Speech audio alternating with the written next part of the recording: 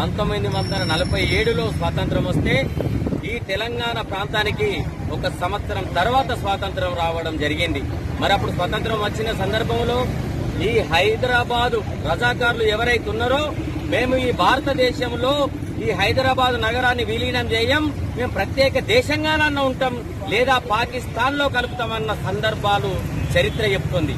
మరి అప్పుడు సర్దార్ వల్లభాయ్ పటేల్ గారు కరెక్ట్ పంతొమ్మిది వందల నలభై ఎనిమిది ఈ మాసంలో పదమూడో తారీఖు రోజు భారత సైన్యంతో హైదరాబాద్ మహానగరాన్ని ఆధీనంలోకి తీసుకొని భారతదేశంలో విలీనం చేస్తావా చస్తావా అని చెప్పి అడిగిన సందర్భంలో గత్యంతరం లేక భారతదేశంలో విలీనం చేసిన సందర్భం అది.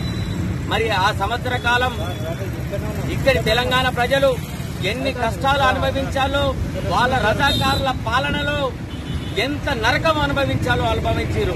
మరి ఈ రోజు తెలంగాణ రాష్ట్ర ప్రజలు ప్రతి ఒక్కరు కూడా ఈ రోజు ఈ స్వతంత్ర ఫలాలు తెలంగాణ రాష్ట్రంలో అనుభవిస్తారంటే అది కేవలం సర్దార్ వల్లభాయ్ పటేల్ గారి పుణ్యమా అని చెప్పేసి మనం చెప్పుకోవాల్సిన సందర్భం ఉన్నది. ఆ సందర్భంలో ఈరోజు భారతీయ జనతా పార్టీ బెల్లంపల్లి పట్టణ కమిటీ ఆధ్వర్యంలో ఆ మహానుభావునికి పూలమాలలు వేసి నివాళులు అర్పించే కార్యక్రమాన్ని భారతీయ జనతా పార్టీ తీసుకోవడం జరిగినది.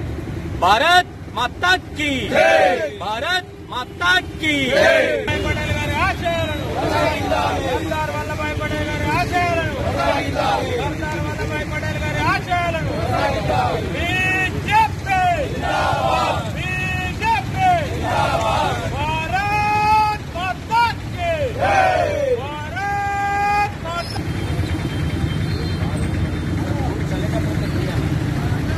సర్దార్ వల్లభాయ్ గారి ఆశయాలను సర్దార్ వల్లభాయ్ గారి ఆశయాలను వల్లభాయ్ పటేల్ గారి ఆశయాలను వల్లభాయ్ పటేల్ గారి ఆశయాలను వల్లభాయ్ పటేల్ గారి ఆశయాలను పటేల్ గారి ఆశయాలను పటేల్ గారి ఆశయాలను సర్దార్ వల్లభాయ్ పటేల్ గారి ఆశయాలు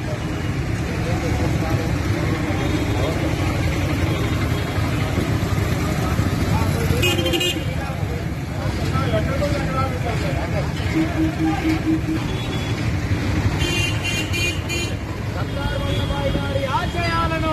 సర్దార్ వల్లభాయ్ పటేల్ గారి ఆశయాలను పటేల్ గారి ఆశయాలను పటేల్ గారి ఆశయాలను కొనసాగిద్దాం కొనసాగిద్దాం పటేల్ గారి ఆశయాలను సర్దార్ వల్లభాయ్ పటేల్ గారి ఆశయాలను సర్దార్ వల్లభాయ్ పటేల్ గారి ఆశయాలను సర్దార్ వల్లభాయ్ పటేల్ గారి ఆశయాలను కొనసాగిద్దాం కొనసాగిద్దాం. పటేల్ గారి ఆశయాలను కొనసాగిద్దాం.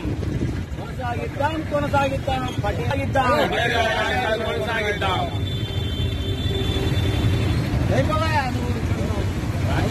అందరూ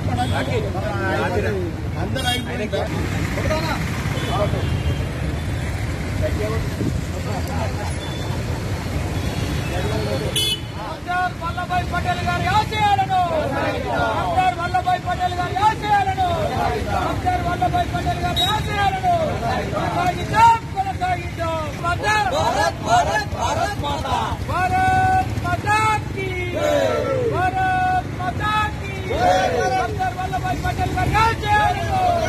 ಸರ್ಕಾರ ವಲ್ಲಭಾಯಿ